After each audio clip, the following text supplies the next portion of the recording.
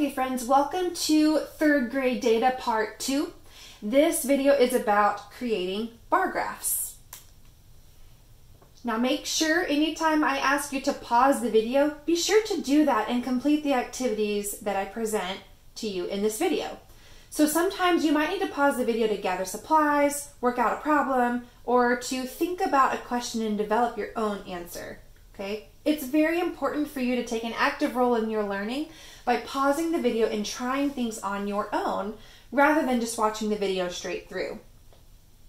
At the very end, there's going to be an exit ticket or a task of some sort to help you show everything that you've learned. Your teacher will let you know how to submit your, your exit ticket answers. And if you ever need to rewatch the video to review, that's totally fine. Watch it as many times as you need to.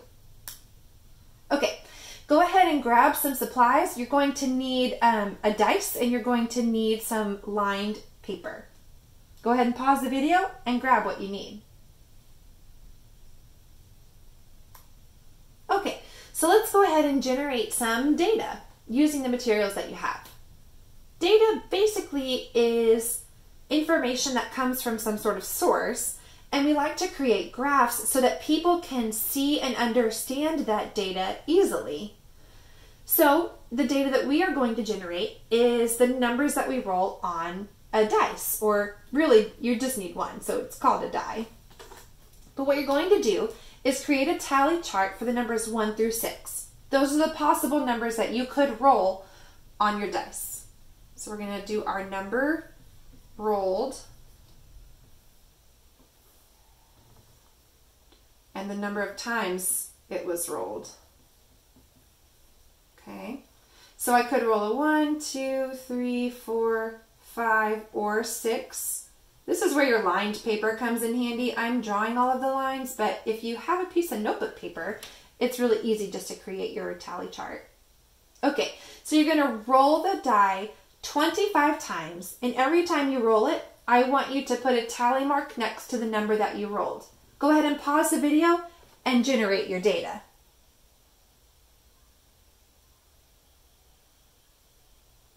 Okay, so your data may look a little different than mine, and that's completely fine. I actually don't have a dice at, I don't have any dice at home for some reason. I can't seem to find them.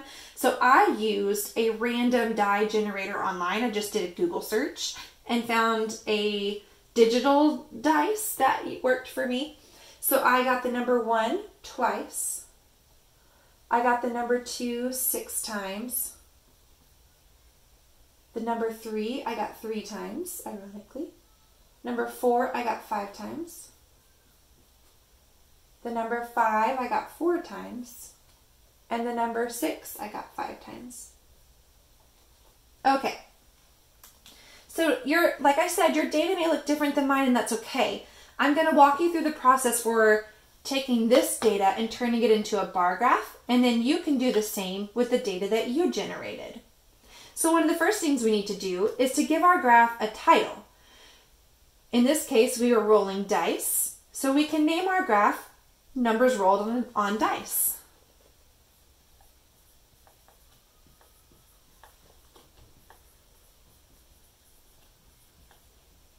Or on a die. It's just one. Okay, so the next thing we need to do is prepared to make our bar graphs, we need to decide on what kind of scale we're going to use for our bar graph.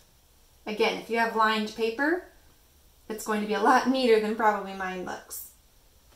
Looking at our data, there's really not a whole lot of data points for each one, so I could probably count by ones on my scale. I could count by twos though if I wanted to, okay? Let's start by counting by ones and see how that turns out. One, two, three, four, five. It looks like my greatest value is six. So I just need one more line up here to be six. Okay, now I need to add my labels for the bottom. I need space for each bar, for each of these data points. So I could have rolled a one, two, three, four, five, or six. So now I gave my graph a title, I have my scale in place, I've added my labels. Now it's time to show my data. So I rolled a 1 two times. So above my 1, I'm going to create my bar that goes up to 2.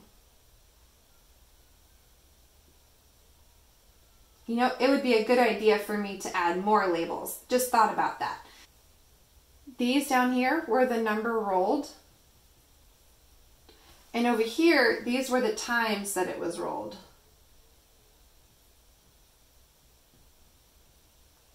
Okay, so one, I rolled two times. The number two, I rolled six times. So that's going to be a nice tall graph all the way up to six. The number three, I rolled three times.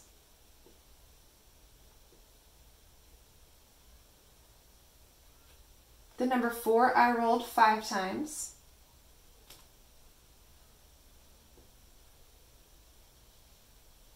The number five, I rolled four times.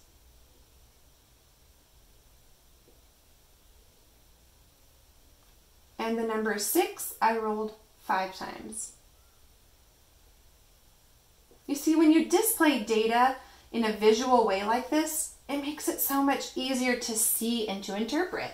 It's very quick and easy for me to see. I rolled ones the least. I rolled twos the most. I rolled just as many sixes as I did fours. When you create a graph, it makes it really easy to see the information. Okay, so try this on your own. Pause the video and create a bar graph that shows this information. Remember to include your title, your labels, okay? Make sure you pick a scale to use and show all of this data exactly as it's shown here.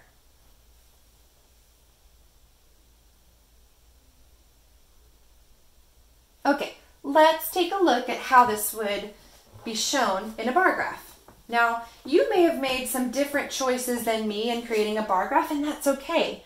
As long as it makes sense, it's fine. Okay, so the information I'm given here is the number of students that chose these different colors as their favorite. So I'm going to give my graph a title, and it's going to be students' favorite colors.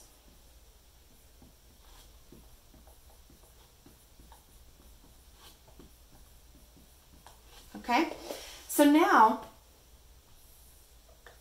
I need to decide on what scale I'm going to use. Now when I look over here, I've got some pretty large data points. I've got 13, 5, 10, 14.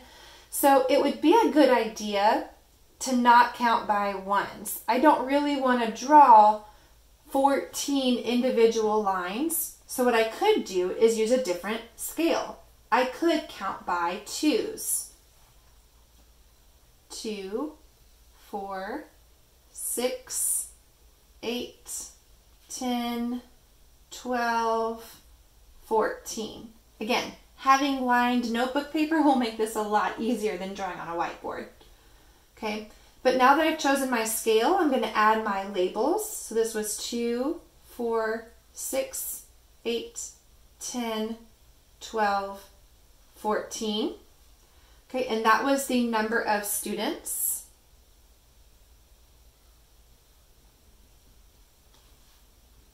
And the colors that I'm going to show on my graph are blue, green, yellow, and pink. So I've got blue, green, yellow, and pink. Okay, so for blue, I have 5, 10, 13 students. Now, I don't have 13 as one of my lines, but I do know 13 is right between 12 and 14. So I can draw my bar there. Green has 5, 10, 14. So I'm going to draw that bar all the way up to 14. Yellow had 5, 10, 12.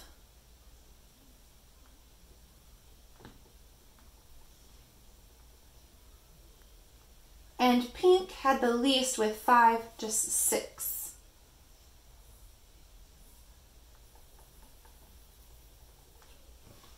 Okay, so you have you may have made some different decisions on what scale you used or exactly what you titled it. And like I said, that's okay. As long as your graph makes sense and has everything someone would need to make sense of it, you're good. Okay, so as your exit ticket, I want you to create a tally chart on a piece of paper and list the following materials. Wood, fabric, metal, and plastic. Now, walk around your home or outside and tally all of the objects you can find based on what material is used to make it. Like my desk, for example, is made of wood. So I would tally my desk in the wood column or in the wood row. Okay? I want you to find at least 20 objects to include on your tally chart, then represent that data with a bar graph. So pause this video right here if you need to, if you need that information to create your tally chart and submit your answers to your teacher. Thanks so much for watching and happy learning.